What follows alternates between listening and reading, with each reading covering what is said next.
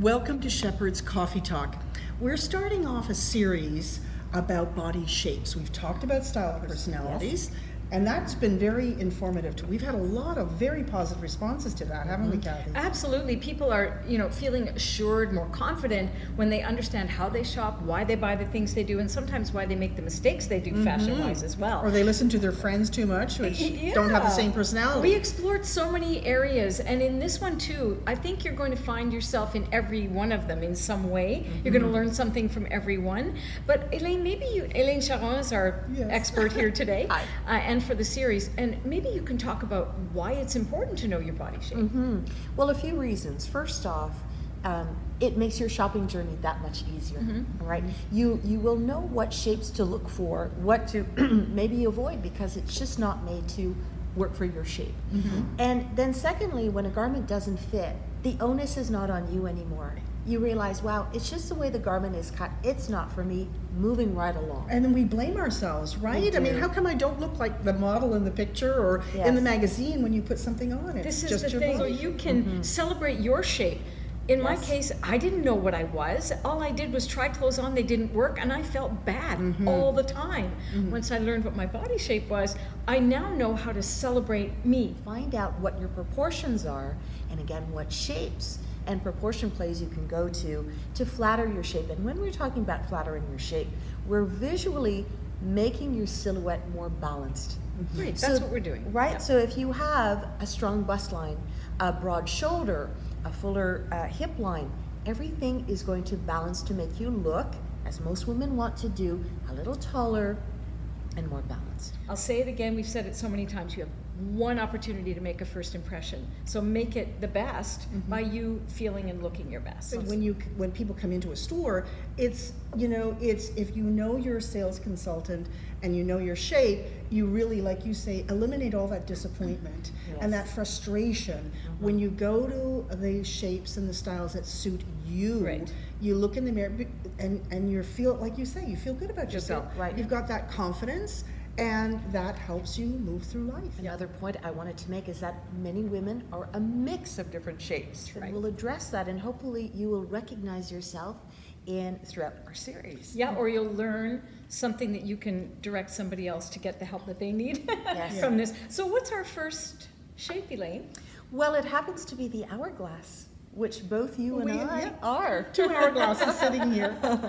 and for the hourglass, we found that there is a lean hourglass and there is a rounded hourglass. Mm-hmm. So both you and I are going to illustrate the, the shape. Right, exactly. So everything on the rounded hourglass is a little soft, a little rounded, no angular shapes to speak of. Let's talk about talk the shoulder. So the shoulder is softly rounded. There's typically a little bit of fullness here in the upper arm, okay? The bust is full, is rounded as well, and if you measure it, it'll measure about the same as the hip will.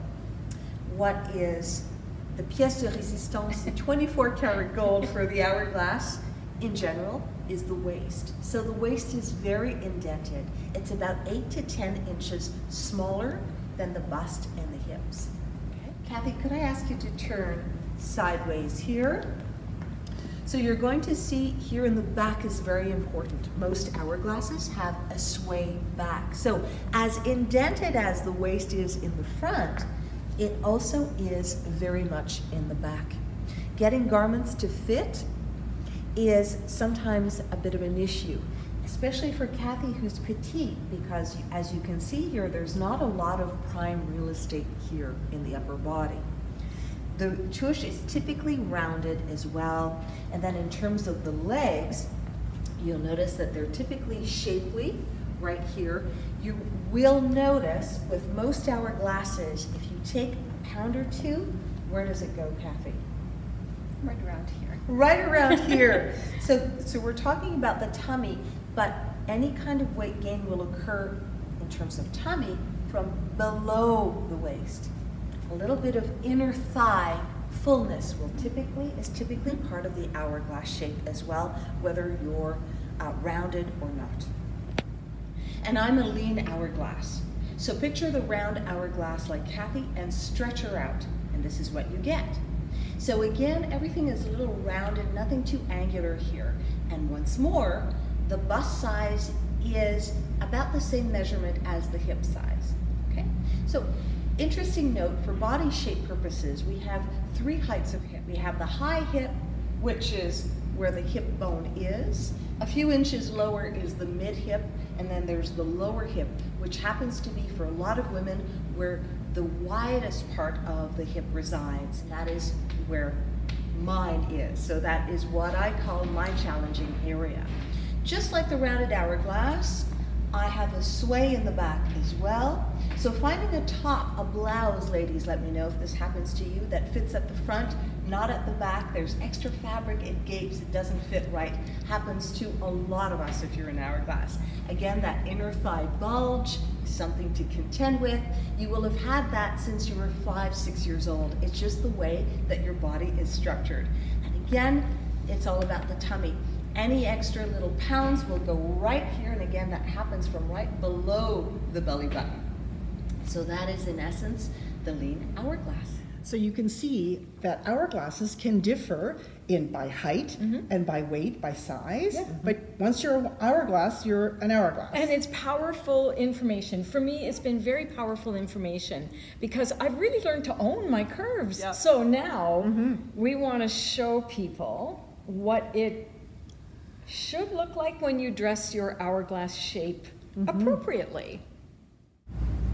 So here's Kathy in a Joseph Ribkoff dress. And Kathy, I know that you love Joseph Ribkoff. It seems to be cut for you. Well, as a petite and being curvy, somehow the fabrics Ribkoff works with and the way they design the length and proportion of the dress just works. I mean, I don't have to have mm-hmm. that dress shortened. No. Um, so first style tip I would say is that if there's a di- designer that you know works for your shape, look to them. Yeah, that's yeah. your go-to brand. yeah. right. So, so this is the classic dress for the hourglass. This is how we always envision the hourglass, right? Because it it's shaped, it accentuates the hourglass shape. It will give that hourglass shape to other shapes. And it, it looks so well proportioned, yeah. Bal- mm-hmm. balanced, which I is know. really dressing your shape is all about balancing. Exactly. Right? Exactly. Yeah. The shoe here, um, good style tip again. The point here, you can go with the shoe with what we call um, um, a, a, low vamp, so you can see a lot of foot cleavage is always good. Mm-hmm. Yes, but here, okay, so oh, the yeah. earring, right? So you just brought your hair back behind the ear, and that's a great style tip for everyone as well.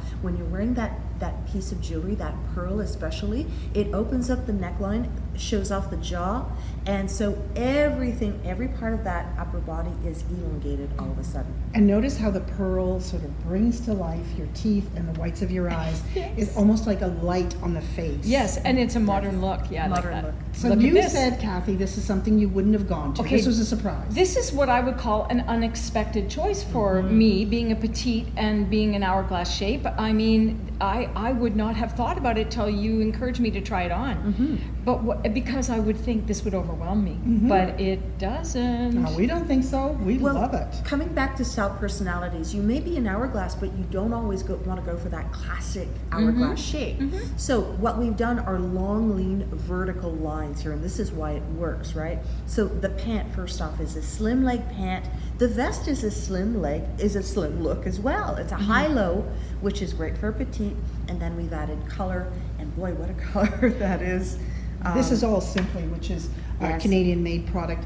You also wear a lot of Simply, Kathy, because it's again Canadian. Uh, it's yep. impeccably perfect. It's a jersey. But look at the lines on this tunic, and like you were saying, Elaine, they know how to make a garment mm-hmm. for a woman. They nip it in here just at the bust line to yes. give you some shape. Mm-hmm. Yes. And the neckline, I find, you know, I need a little bit more opening around my face, and mm-hmm. that works, even though yes. it's a cowl neck. It's mm-hmm. a cowl neck, and it's differentiated from your bust. So nothing is crowding anything in here, right? And again, it's that high-low hem that works for, again, so many body shapes. So here's me in the Eileen Fisher tank dress. The reason I went to this is, again, it is shaped for an hourglass. Okay, it's got curve. You'll see it on the hanger. There's lots of stretch to that, too, And lots so. of stretch. Thank God. So it's that basic little black dress that is an essential for us, so I thought I would showcase that. Mm-hmm. Wearing it here with a booty because I can, because I'm, I am a little taller. Mm-hmm. Okay.